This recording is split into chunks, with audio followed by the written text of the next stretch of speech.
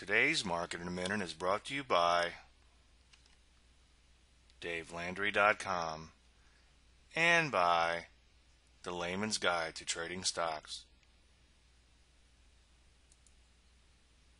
Good morning. Today is Thursday, January 27, 2011. I'm Dave Landry, and this is the market in a minute. Let's go.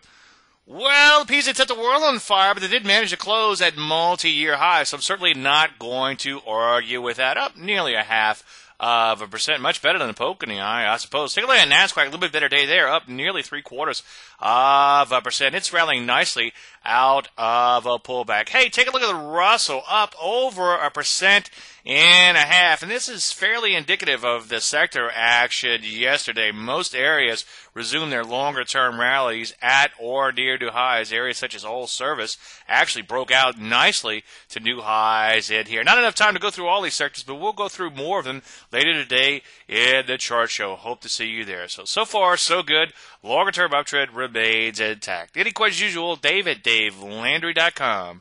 I'm Dave Landry, and you just heard the market in a minute.